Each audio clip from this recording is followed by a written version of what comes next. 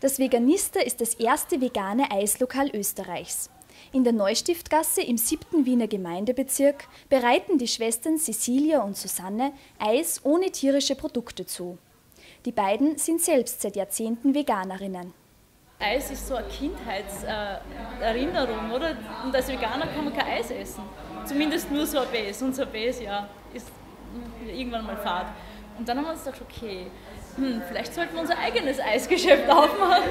Dann können wir selbst entscheiden, was für Eis wir produzieren. Bei einer veganen Lebensweise sind alle Produkte tabu, die von Tieren stammen. Nach diesem Grundsatz funktioniert auch das Veganista. Also im Prinzip, wir verwenden halt wirklich hochwertige Sachen, hochwertige Rohstoffe. Die Basis ist verschieden. Es kann Sojamilch sein, Reismilch sein, Hafermilch sein, Kokosmilch. Ähm, ist ganz verschieden. Es kommt ganz auf den Geschmack an. Und ja, da haben wir ein bisschen herumgetüftelt, was gut zusammenpasst und dann, ja, hoffentlich haben wir das jetzt gut gemacht. In vielen Eisdielen gibt es vegane Eissorten, aber ein Lokal, das ausschließlich veganes Eis anbietet, gab es bisher nicht.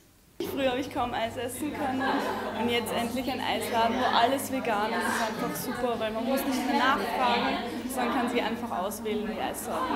Wenn das Veganister gut läuft, wollen Cecilia und Susanne weitere Filialen eröffnen, um noch mehr Veganer mit ihrem leckeren Eis versorgen zu können.